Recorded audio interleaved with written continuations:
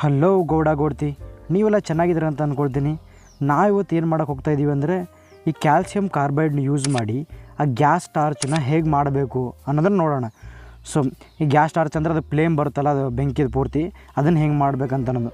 So ಇದು ಮಾಡೋಕ್ಕೆ ಬೇಕಾಗಿರೋಂಥ ವಸ್ತುಗಳು ಏನಂತಂದ್ರೆ, ಒಂದು ನಮ್ಗೆ ಒಂದು ವಾಟರ್ ಬಾಟ್ಲು ಬೇಕು, ಒಂದು ಲೀಟರ್ದಿರಲಿ ಮತ್ತು ಇನ್ನೊಂದು ಇನ್ಫ್ಯೂಸನ್ ಕಿಟ್ ಅಂತ ಇರ್ತಲ್ಲ ಈ ಮೆಡಿಕಲ್ದಲ್ಲಿ ಯೂಸ್ ಮಾಡ್ತೀವಲ್ಲ ನಾವು, ಈ ಡ್ರಿಪ್ ಗಿಪ್ ಎಲ್ಲ ಹಾಕ್ತಾರಲ್ಲ ಬಾಡಿಗೆ ಆ ಥರದೊಂದು ಇನ್ಫ್ಯೂಷನ್ ಕಿಟ್ ಬೇಕು. ಅದನ್ನು ನಾವು ಮೆಡಿಕಲ್ ಸ್ಟೋರಲ್ಲಿ ಕೇಳಿದ್ರೆ ಕೊಡ್ತಾ ಇರೋದು.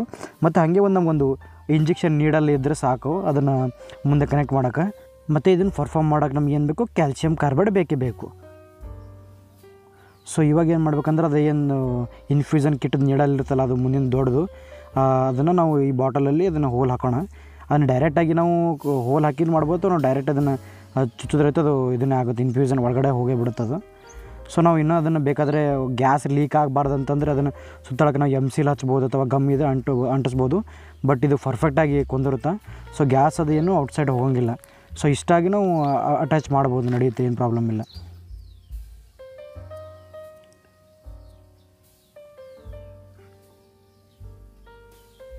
ಇವಾಗ ನಮ್ಮ ಹತ್ರ ಇರುವಂಥ ಕ್ಯಾಲ್ಸಿಯಂ ಕಾರ್ಬೈಡ್ ಇರುತ್ತಲ್ಲ, ಅದನ್ನು ಸ್ವಲ್ಪ ಚಿಕ್ಕ ಚಿಕ್ಕದು ಹರಳಾಗಿ ತೊಗೊಂಡ್ರೂ ಉತ್ತಮ. ಸೊ ಅದನ್ನು ಕ್ಯಾಲ್ಸಿಯಂ ಕಾರ್ಬೈಡ್ನ ಏನು ಮಾಡ್ಬೇಕು ನಾವು ಒಂದನ್ನು ಬಾಟಲ್ ಒಳಗಡೆ ಹಾಕೋಣ ಈಗ. ಇದು ನೋಡಿದ್ವಿ ಕ್ಯಾಲ್ಸಿಯಂ ಕಾರ್ಬೈಡ್ ಇದು.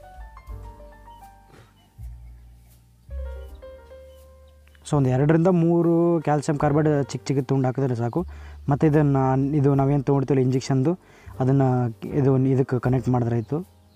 ಯಾಕಂದರೆ ಇದು ಎದಕ್ಕೆ ಕನೆಕ್ಟ್ ಮಾಡ್ತೀವಿ ಅಂದರೆ ಗ್ಯಾಸ್ ಹೊರಗಡೆ ಹೋಗ್ಬೇಕಲ್ಲ ಫ್ಲೇಮು ಅದನ್ನು ಮತ್ತು ಇನ್ನೊಂದು ಮಾಡ್ಬೇಕಂದ್ರೆ ಈ ಇನ್ಫ್ಯೂಸನ್ ಕಿಟ್ನ ಆನ್ ಆಫ್ ಮಾಡ್ಬೇಕು ನಾವು. ಯಾಕಂದರೆ ನಾವು ಆನ್ ಮಾಡಿದ್ವಿ ಅಂದ್ರೆ ಅದ್ರ ಒಳಗಡೆ ಏನು ಗ್ಯಾಸ್ ಫಾರ್ಮ್ ಆಗುತ್ತಲ್ಲ, ಆ ಗ್ಯಾಸ್ ಎಲ್ಲ ಔಟ್ಸೈಡ್ ಹೋಗ್ಬಿಡುತ್ತೆ, ಆ ಇಂಜೆಕ್ಷನ್ ತ್ರೂ ಸೊ ಅದಕ್ಕೆ ನಾವು ಇದನ್ನು ಆಫ್ ಇಡಬೇಕು ಈ ಕಡೆ.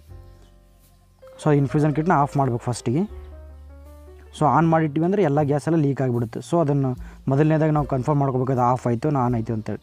ಫಸ್ಟ್ ಆನ್ ಆಫ್ ಮಾಡ್ಕೋಬೇಕು ಅದನ್ನು ನಾವು. ಯಾಕಂದ ನಂತರ ಅದಕ್ಕೆ ನೀರು ಹಾಕ್ಬೇಕು ನಾವು. ಯಾಕಂದ್ರೆ ಕೆಮಿಕಲ್ ರಿಯಾಕ್ಷನ್ ಆಗಬೇಕಲ್ಲ. ಸೊ ಒಂದಿಷ್ಟು ನೀರು ಹಾಕಿದ್ರೆ ಅದರಲ್ಲಿ.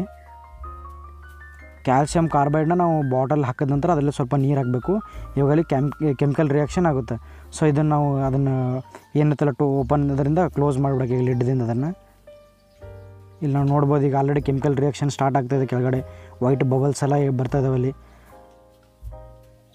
ಬಾಟಲ್ ಒಳಗಡೆ ಗ್ಯಾಸ್ ಫಾರ್ಮ್ ಆಯ್ತಂದ್ರೆ ಬಾಟಲ್ ಏನಾಗುತ್ತೆ ಸ್ವಲ್ಪ ಇದು ದಪ್ಪ ಅನ್ನಿಸ್ದಂಗೆ ಅನಿಸುತ್ತೆ, ಸ್ವಲ್ಪ ಫುಲ್ ಗಟ್ಟಿ ಆಗುತ್ತೆ. ಅವಾಗ ನಾವು ಏನು ಮಾಡಬೇಕು, ಒಂದು ಫ್ಲೇಮ್ ಅಥವಾ ಏನಾದರೂ ಬೆಂಕಿಗೆ ಹಚ್ಚಿದ್ರೆ ಈ ಥರ ಆಗುತ್ತೆ ನೋಡಿ ಇಲ್ಲಿ.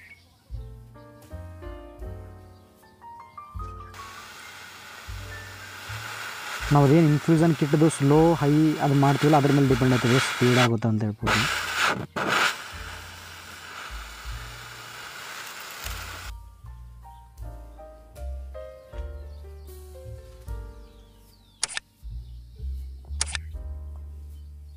ಸೊ ಇದು ಮಾಡೋಕ್ಕಾರೆ ತುಂಬ ಎಚ್ಚರಿಕೆ ಇರಲಿ. ಯಾಕಂದ್ರೆ ಇದು ಗ್ಯಾಸ್ ಏನಾದರೂ ಫಾರ್ಮ್ ಆಗಿ ಪೂರ್ತಿ ನಾವು ಗ್ಯಾಸ್ ಲೀಕ್, ಇದು ಔಟ್ಸೈಡ್ ಬಿಡಲಿಲ್ಲ ಅಂತಂದ್ರೆ ಅದು ಬ್ಲಾಸ್ಟ್ ಆಗಂಥದ್ದು ಇದನ್ನು ಇರುತ್ತೆ ಕ್ಯಾಲ್ಸಿಯಂ ಕಾರ್ಬೈಡ್ದು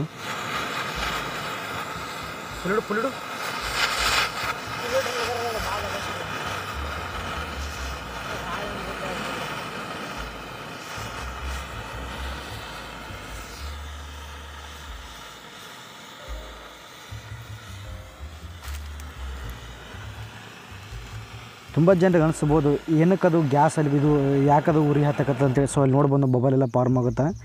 ಸೊ ಎದಕ್ಕಂತಂದ್ರೆ ಕ್ಯಾಲ್ಸಿಯಂ ಕಾರ್ಬೈಡ್ ಏನಿರುತ್ತಲ್ಲ, ಅದು ಯಾವಾಗ ನಾವು ನೀರಲ್ಲಿ ಹಾಕ್ತೀವಲ್ಲ, ಅದು ಅಸಿಟಿಲಿನ ಗ್ಯಾಸ್ ಇದು ಪ್ರೊಡ್ಯೂಸ್ ಮಾಡ್ತದೆ. ಸೊ ಈ ಅಸಿಟಿಲಿನ ಗ್ಯಾಸ್ ಏನು ಮಾಡುತ್ತೆ ಅಂತಂದ್ರೆ, ಅದು ಈಸಿಯಾಗಿ ಉರಿ ಹತ್ತದ. ಸೊ ಇದು ನಾವು ಆಲ್ರೆಡಿ ನಾವು ಮಂಕಿ ಗನ್ನೆಲ್ಲ ಮಾಡಿದ್ದೀವಿ ನೀವು ಇದನ್ನು ನೋಡಿದಿಲ್ಲ ಅಂದ್ರೆ, ನಾನು ಆಲ್ರೆಡಿ ಐ ಕಾರ್ಡಲ್ಲಿ ಹಾಕಿರ್ತೀನಿ. ನೋಡಿ. ಸೊ ಮಂಕಿ ಗನ್ನಲ್ಲಿ ನಾವು ಇದನ್ನೇ ಯಾವಾಗ ಅದು ಹೆಚ್ಚು ಗ್ಯಾಸ್ ಫಾರ್ಮ್ ಆಗುತ್ತಲ್ಲ ಸೊ ಅದು ಬ್ಲಾಸ್ಟ್ ಆಗಿಬಿಡುತ್ತೆ. ಸೊ ಅದೇ ರೀತಿ ನಾವು ಇದನ್ನು ಈ ಇನ್ಫ್ಯೂಸನ್ ಕಿಟ್ಟಿಂದ ಹೊರಗಡೆ ಬಿಟ್ಟರೆ ಅದು ಗ್ಯಾಸ್ ಹೊರಗಡೆ ಬರುತ್ತೆ. ಸೊ ಅದರಿಂದ ಇವ್ರಿನೂ ಹತ್ತುತ್ತೆ. ಸೊ ಇದಾಗಿತ್ತು ಇವತ್ತಿನ ವಿಡಿಯೋ ನಾವು ಇದೇ ರೀತಿ ಬೇರೆ ಬೇರೆ ಕಂಟೆಂಟ್ಗಳನ್ನೆಲ್ಲ ಮುಂದೆ ನಿಮ್ಮ ಮುಂದೆ ತರ್ತೀವಿ. ಸೊ ಈ ವಿಡಿಯೋ ಇಷ್ಟ ಆಗಿದ್ರೆ ಲೈಕ್ ಮಾಡಿ, ಮತ್ತು ಸಬ್ಸ್ಕ್ರೈಬ್ ಮಾಡಿ. Thank you